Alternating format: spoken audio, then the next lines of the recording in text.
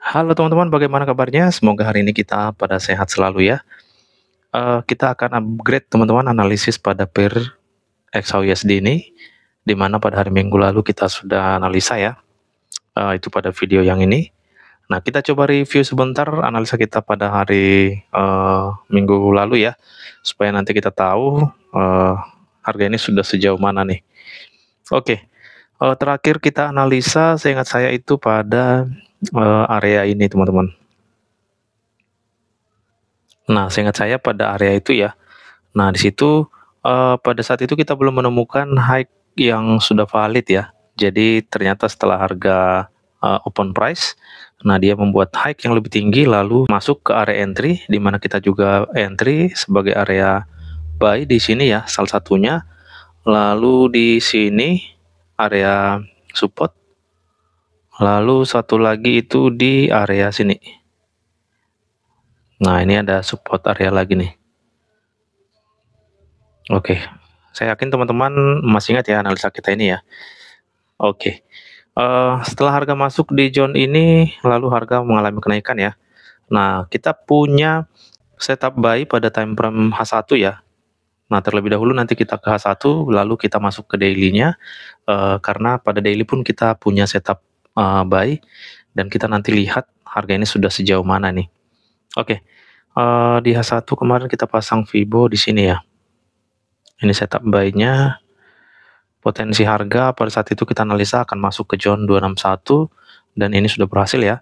Sekarang kita cek zone, eee, 423. Zone 261 full body. Jadi sangat kuat potensinya harga masuk ke 423 ini. Nah, ini teman-teman. Area 423 belum disentuh ya, itu masih fresh. Potensi banget itu harga masuk ke zone itu.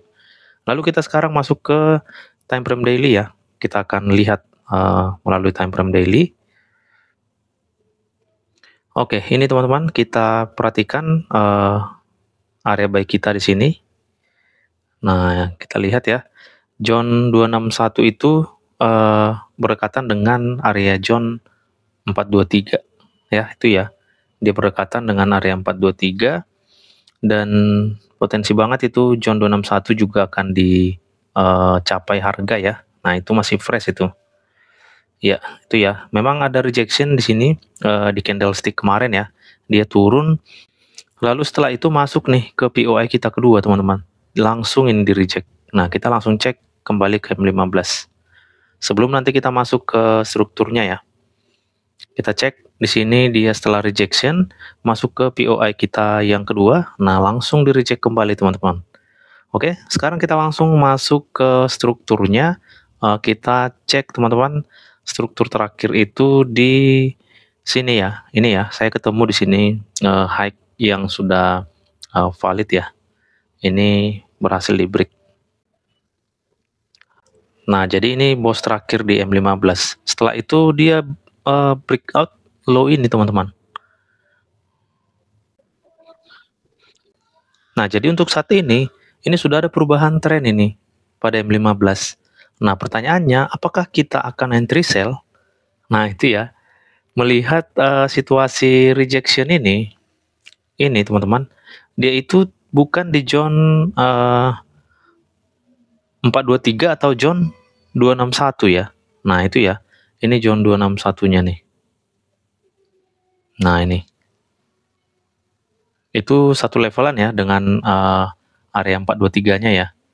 Oke, jadi kalau kita lihat itu rejection-nya itu bukan dari zone area kita ya. Jadi artinya kalaupun harga harus turun, harusnya dia, eee, masuk teman-teman ke zone 423 atau zone 261, eee, baru kita bisa nih, eee, menganalisa bahwa harga ini potensi akan turun. Namun saat ini kan dia bukan, eee, merupakan area kita teman-teman. Kalau kita lihat ya, eee, ke sebelah kiri ini bukan area penghalang harga ya, itu area yang kosong ya. Jadi, eee, menurut saya penurunan ini itu hanya, eee, retest sebentar teman-teman, lalu potensinya sih ini masih akan naik ini ke zone 423 atau zone 261. Nah, sekarang kita langsung cek untuk strukturnya. Low ini sudah menjadi low valid, ini ya, low valid pada time frame M15. Ya, setelah itu kita langsung masuk ke area entry nih. Area entry kita itu ada di resisten ini. Nah, itu teman-teman. Kita lihat harga masuk pada zone ini, zone ini, zone ini. Nah, itu tidak menghasilkan pola konfirmasi. Ini kita coba cek ke time frame M30. Nah, itu ya. Kita lihat langsung dibalas kembali oleh bullish ya. Turun uh, sedikit lalu dibalas lagi bullish, turun lagi, dibalas lagi langsung double maru. Nah, itu ya teman-teman ya. Jadi menurut saya potensi di M15 ini akan membentuk change of karakter kembali. Ini kita delete. Nah, ini coba kita uh, marking high validnya ini. Nah, gini teman-teman.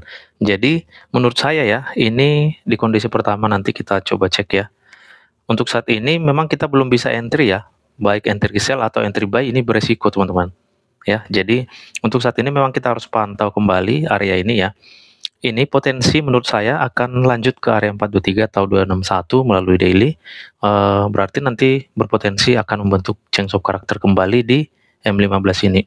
Nah, kalaupun nanti kita mau ambil posisi selnya, menurut saya lebih bagus kita ambil setelah dia masuk ke area 423 atau zone 261 karena itu merupakan area pantul nantinya. Untuk saat ini seperti yang sudah kata, saya katakan, ini bukan area pantul ya, sehingga penurunan ini uh, bisa dikatakan itu uh, hanya retest sementara lalu akan kembali naik lagi. Melihat juga uh, setelah harga masuk ke POI-nya, POI M15 itu tidak menghasilkan pola konfirmasi teman-teman. Jadi menurut saya nanti akan kuat potensi harga membentuk change of karakter kembali pada time frame M15 ini. Nah, jika sampai hal itu terjadi, kita memang masih bisa untuk melakukan posisi buy ya. Jadi tinggal kita sesuaikan nanti high-nya, uh, lalu kita marking uh, untuk beberapa POI untuk lanjut open posisi buy ya. Jadi seperti itu. Kalau mau fokus buy-nya. Nah, nanti bagaimana kalau mau sell-nya? Jadi kalau mau sell, itu nanti boleh kita pantau area 423 ini atau John 261-nya, jika nanti memang dia muncul pola penurunan, nah kita bisa nih mengambil retestnya untuk harga ini masuk ke POI M15 ini. Karena nanti kalau itu ini terbentuk teman-teman, nah kalau sampai full body seperti ini, maka area kita itu sampai pada low ini. Jadi uh, bisa kita ambil retestnya, jika ada pola penurunan nantinya, uh, kita ambil retestnya sampai harga masuk ke area-area POI di dalam ini teman-teman. Ya, nanti kita lihat aja high-nya ya. Pokoknya untuk saat ini ini cukup beresiko untuk entry uh, karena harga ini belum mengkonfirmasi akan sell walaupun adanya di sini change of karakter dan juga untuk buy pun ini beresiko teman-teman. Jadi harus uh, terlebih dahulu di breakout baru kita bisa mengambil posisi buy. Nah, kalau mau sell seperti yang saya katakan tadi, kita boleh ambil sell dengan catatan ada pola penurunannya. Nah, lalu kondisi kedua, ini teman-teman, uh, karena belum breakout, jadi masih ada potensi memang uh, harga ini turun gitu teman-teman. Kalau terkonfirmasi kita bisa hajar posisi sellnya. Nah, karena sudah ada change of karakter. Tapi ingat, menurut saya, kalaupun kita ambil posisi sellnya, gunakan Fibo retracement uh, untuk mengambil TP di area yang rasional yaitu zone 161.8. Jangan sampai terlalu jauh ya. Karena menurut saya masih kuat ini harga melakukan kenaikan. Jadi kalaupun mengambil posisi sell sekali lagi itu harus benar-benar rasional banget teman-teman. Oke, itulah teman-teman uh, dua kondisi yang bisa kita ambil ya. Yang bisa kita lihat uh, kita pantau untuk pergerakan di XAUSD ini untuk jangka pendek ya, scalping ya teman-teman ya. Oke teman-teman, uh, mungkin ada teman-teman yang panen ya kemarin ya. Senin kemarin ini lumayan banget ini. John pantau kita kan ada di zone ini ya. Jadi ini pola konfirmasinya muncul. Nah ini dia masuk nih ke area uh, entry-nya ya. Lalu langsung ini mengalami kenaikan. Uh, ini juga menjadi bos ya. Jadi kalaupun uh, re-entry bisa nih teman-teman dari zone ini sampai zone ini contohnya, lalu re-entry lagi. Nah itu sudah enak banget itu ya. Oke teman-teman, itu aja yang bisa kita ulas ya untuk analisa hari ini. Uh, semoga bermanfaat dan menambah wawasan untuk kita semua. Salam profit dan tetap semangat.